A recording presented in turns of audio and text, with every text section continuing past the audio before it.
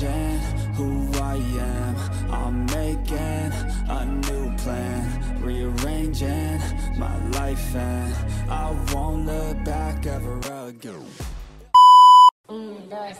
Salve, gurizada! Começando mais um vídeo pra vocês, ó. Tamo aqui, mexendo no S14.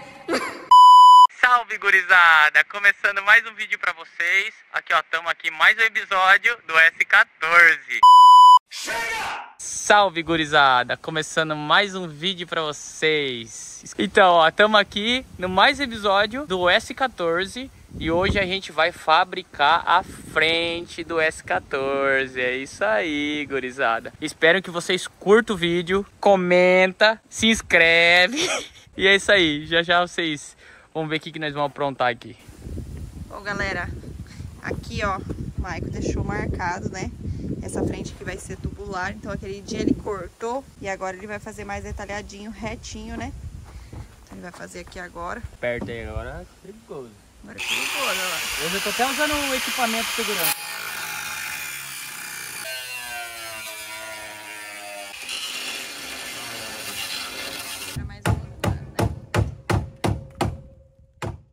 Dois mil anos depois. Aqui nas atividades, a Juliana tá fazendo as marcações pra mim das chapas aqui. Ó, gurizada, vou explicar pra vocês, ó. Ó. Tá vendo? Aqui. Depois vou colocar outra aqui, que aqui vai mais um reforço. E ela vai fazer outra por aqui, ó. Que aqui é onde vai o suporte do fremo. Do fremo não, desculpa. Do coça-poto. Aí aqui também. Aí eu comecei a lixar, que eu vou espotar a frente inteira. Vou soldar tudo, tudo, sabe? Mas é pra, vai ser pra outro capítulo. Tamanho das pinças da Brembo, gurizada. Você é louco. Nacro do Naoki. Naoki N-Style. Bora, bora. Tamo na construção aqui com a dona Juliana. Olha lá, a Murai já tá metendo solda de um lado lá. Cocôzinho de pomba. Esse cocôzinho de, de pombinho. A gente ainda tá no primeiro lado lá. Já ficou a tarde inteira pra fazer só esse lado. Não, calma, né? Aí falta aqui. Ah, não, é. É, é, a, gente, a gente não sabia nem como, usasse a, como usava a máquina de dobrar cano. A gente não sabia qual que era a altura. A gente foi medindo, conferindo e vai, vai, vai. Demorou pra gente começar a fazer. Mas depois que começou foi rápido. É. Mas a gente fez uma vez, errou É. a medida. A gente tirou e arrumou de novo. Ainda falta esse lado aqui. Mas agora que a gente já tem aquele lado feito, já tem o gabarito da dobradura, tudo, a medida, vai ser mais rápido. Já. Espero. Não, não, vai ser. espero, espero. O pessoal não tá entendendo nada, né? Aí Porque com o fenda vai ficar assim, né? O pessoal não tá entendendo nada, né? Que a gente não fez inteiro, né? É. O que a gente vai fazer? A gente nem sabe fazer, já estamos complicando. eu vou cortar aqui, então eu vou fazer daqui pra lá. Isso. E aqui eu vou fazer mais um suportinho aqui, parafusadinho, pra na hora que quiser arrancar o motor, tira esse suporte, tira o radiador e fica livre, igual a berinjela. Igual a berinjela, que a berinjela é só esse aqui que não tinha mais do seu, né? É, daí a gente fez de, de tubular Isso, tubular, e cortou tudo em cima. tudo. Não E tinha nada. A gente vai fazer Isso, isso. né? E depois ainda tem ainda o, O de dentro. aqui, o reforço de dentro. Uhum. Que é mais grosso, né, também, né? É, mas o reforço de, de dentro eu acho que ele é mais. É mais fácil, né? Hoje tudo é difícil, hoje é a primeira vez, amor. Não, o- Não, mas ele não tem. É que o, que tava sendo difícil, vamos explicar pra galera. O que tava sendo difícil é deixar isso aqui no nível certo também. Não, e eu inventei moda entendeu? também, né? E- Tipo assim, dava, era, dava pra ter feito reto, né? É, a falei, gente "Não, quis Júlio, fazer vamos- isso. vamos ah, fazer deixa eu um- filmar daqui. Ó, ele tá meio. Ai, eu ia falar nada. Chanf... Meio que chanfrado, assim. Fora no grau, né? Isso, é. Tá vendo? Não tá reto, É. ele tá meio Tipo tortinho. assim, dava pra ter feito reto. Daí eu falei, eu falei Júlio, vamos fazer ele meio, meio tortinho assim? Que eu acho que fica mais interessante. É. Ah, pior, né? É, vai ficar interessante, ô, ô Murai. Agora, detalhe. Você tá ligado que o lado de cá você tem que deixar no mesmo nível, né? Não é mesmo? fazer, nós faz, não deixar no mesmo nível. Então, porque vai ter que... Gente, Não, não, mas nós consegue. a gente dequire. Quer ver? Vou pôr o radiador aqui agora pra ver. A gente dequire. Nossa, dá uma ventania hoje. Ó, é o radiador. Aqui. E daí depois eu vou fazer. Aqui. É isso aí. É, o suportezinho pra segurar o radiador, É, né? Isso, é isso. Ainda tem isso. É, calma que até o final desse vídeo vocês vão ver muita coisa. É. Fica até o final pra vocês verem a merda. Vamos lá, gente. Ainda falta mais um lado. Se vai ficar reto. Não. Vai ficar reto, né? É, vai, vai ter que vai ficar. Vai ter que Quanto ficar. tempo né, vai levar pra fazer reto? É, isso aí. Mas estamos aí na pegada. É, o Murai não tá muito na pegada, não. Já tá fazendo que o que gigante já. Nossa, mas eu tô soldando, né? Isso aí, galera. Fica até o final do vídeo. Aí, gurizada. Vocês lembram que eu tinha feito aquela outra frente lá? Desfiz, gurizada. Não curti, não curti. Achei que ficou feio. Tô fazendo outra aqui. Já dobrei esse pipe aqui, ó. Reforcei lá do lado da caixa de, de- do- da suspensão. Com essa chapa aqui. Não liga a solda, que eu tô me, tô me adaptando ainda com essa solda MIG sem gás. Depois eu vou ter que fazer acabamento na solda, que a solda ficou uma bosta. Eu aprendi soldar recém com solda com gás, MIG com gás, né? Que é normal. Aí agora eu tô com essa MIG sem gás aqui. Pô, nossa, tô, tô brigando com ela ainda. Mas tá começando a sair uma soldinha mais ou menos. Aí fiz um... Coloquei esse... Deu, espotei esse, esse fio, esse, essa régua, vamos dizer assim. Pra mim ter uma base pra fazer os dois o mais parecido possível. Como a gente dobra na máquina hidráulica, então não fica 100% igual. Mas a gente vai deixar o mais próximo possível. Ó, espotei lá, só dei uns pinguinhos. Dei uns pinguinhos aqui. Medi tudo certinho. Ó, tá aqui. Outra já tá aqui. A gente vai agora espotar a outra aqui. Cortar em grau primeiro. Aí qual que é a, a jogada? Antes eu tava fazendo aqui. Vim aqui, né? E etc. E daí a, a- o centro aqui ia ficar removível. Eu achei que ficou feio, entendeu? Aí o que, que eu fiz? Resolvi fazer esses, esses como pode dizer, isso aqui é um, um reforço.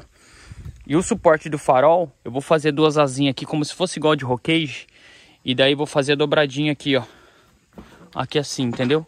Então a frente vai ser removível no próprio reforço aqui do, do chassi aqui. E isso daqui, como a gente cortou tudo aqui, isso aqui, ó, vai ficar firmão aí, ó. E visivelmente vai ficar mais bonito, né? Assim espero.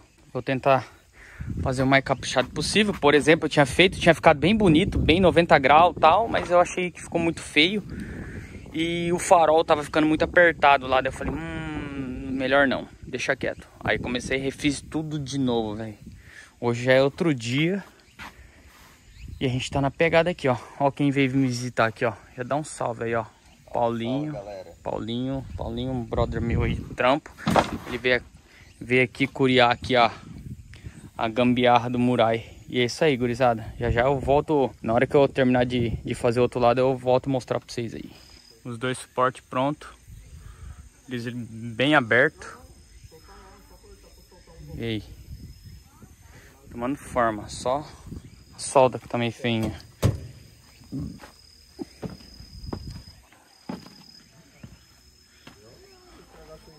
Aí, ó.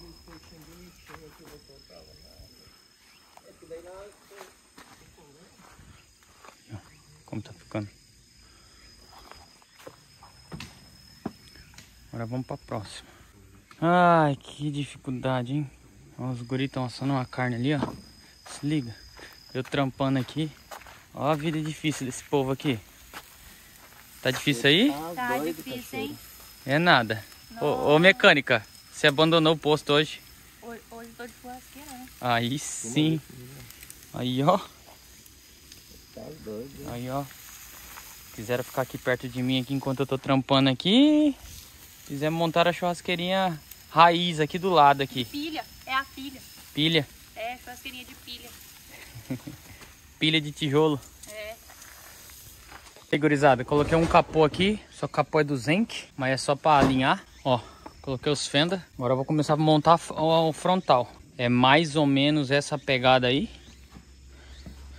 E depois faz o suporte pra fixar os fenda, né? Os dois primeiros encaixes lá é no, vai no original. E só aqui que, que eu faço o suportinho. Aí, gurizada, tomando forma. Não é esse capô que a gente vai usar, mas eu tava tirando base por causa da altura. Ó, como tá ficando. Agora eu vou mostrar pra vocês a gambiarra minha. Aí, tá feita a gambiarra do Murai. Não tá soldado, não tá terminada, só deu uma espotadinha. Mas é isso aí, ó. Esse daí é o serviço desse final de semana.